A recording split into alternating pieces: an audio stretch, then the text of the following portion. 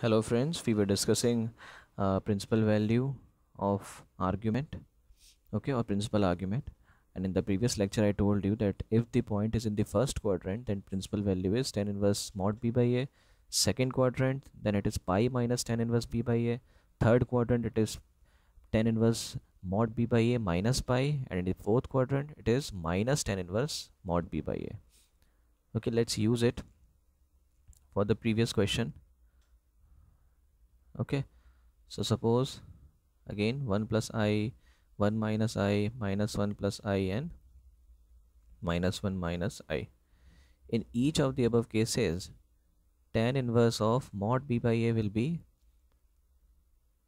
tan inverse either it will be 1 upon 1 or minus 1 upon 1 okay. So minus will be absorbed and each time you will get tan inverse 1 which is equal to pi by 4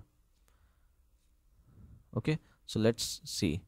If it is the first quadrant then the point was 1 plus i and principal argument will be tan inverse 1 which is equal to pi by 4 if it is the second quadrant then the point will be minus 1 plus i.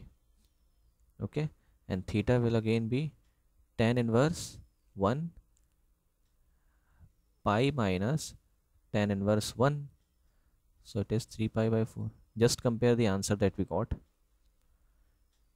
Okay if it is the third quadrant then we will get minus 1 minus i and theta will be tan inverse 1 minus pi and you will get minus 3 pi by 4 and if it is the fourth quadrant then it will be 1 minus i and theta will be minus of tan inverse 1 so minus 5 minus pi by 4 just check this is exactly what we got.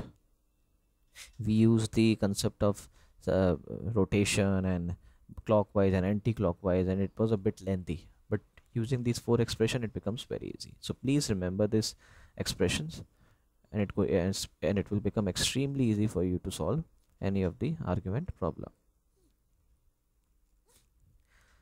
Okay so what will be the argument of a purely imaginary number. So let us say argument of i. I told you that any purely imaginary number lies on the y-axis. I told you in the very um, uh, uh first lecture that any purely imaginary number lies on the y-axis any purely imaginary number lie any purely real number lies on the x-axis. So argument of i i this will lie here 0.1 so the complex number is this. So the argument will be clearly you can see pi by 2 what will be the argument of minus i? Now this point will lie here minus 1 and so argument will be minus pi by 2 okay? Don't say the argument will be this thing 3 pi by 2 because 3 pi by 2 is greater than pi. And in principal value the value should lie between minus pi to plus pi. So it will be minus pi by 2 what will be the argument of 2 so 2 is a real number. It will lie here. So it's this is the complex number. So what is the angle that this complex number is making with the positive direction of x-axis 0 because it is parallel to the positive direction of x-axis. So its argument will be 0 and what will be the argument of let us say minus 2 so the point will be here. So the angle will be pi. Okay? You can say pi you can say minus pi it doesn't matter. Okay? So this is it. This was the basic ideas. Let us solve one question